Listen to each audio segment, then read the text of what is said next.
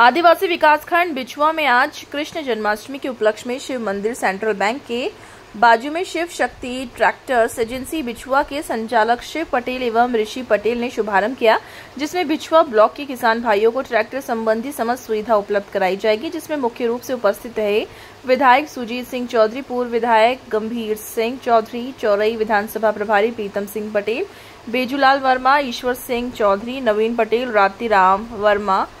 विजय पटेल, हरि पंद्रे, अनु, हनुभक्त नारायण सोनी, जितेंद्र सिंह ठाकुर ज्ञानेन्द्र इंदौरकर, जिला bureau chief Chhindwara, Mayank Chaurasia, Ashish Verma, Sachin Verma, Rajendra जंघीला Rishi Vaishnav, Balmukund Ayodhi एवं Bichhua block के समस्त किसान भाई एवं गणमान्य नागरिक उपस्थित रहे। जिला ब्यूरो चीफ ज्ञानेन्द्र इंदौरकर की बिछुआ की रिपोर्ट।